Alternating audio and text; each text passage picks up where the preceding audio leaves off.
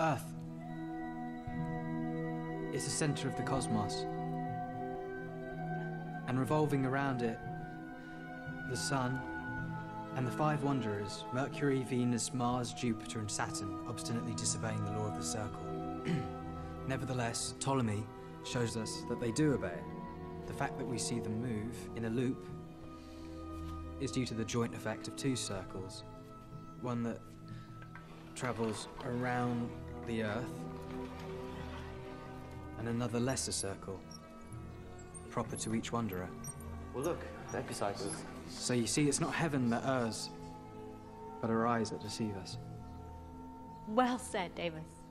I'd like you to know that your exposition shows me that you've been paying closer attention than uh, one or two others here. I tell you, the gods should have consulted me before they created anything. And why do you say that, Orestes? It all seems so whimsical. Why the joint effect of two circles? Wouldn't it be more perfect if the wanderers didn't wander? And a single circle gave sense to everything? Orestes, by what authority do you judge the work of God? What is wrong with you Christians? Can a man no longer open his mouth in this city? You criticize creation, you criticize our Lord, and you offend us. You should move out to the desert. You won't hear anything to offend you out there. You know nothing of what you speak. None of you.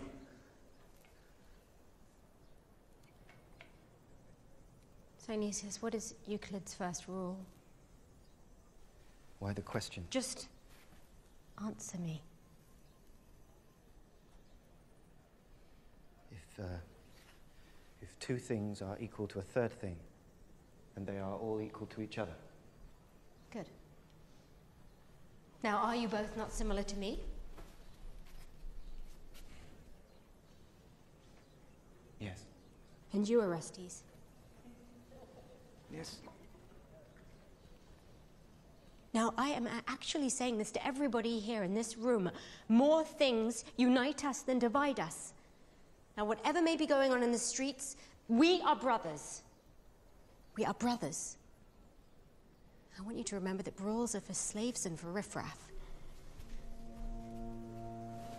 Now, I think we should all honor Davus with some very well earned applause. So.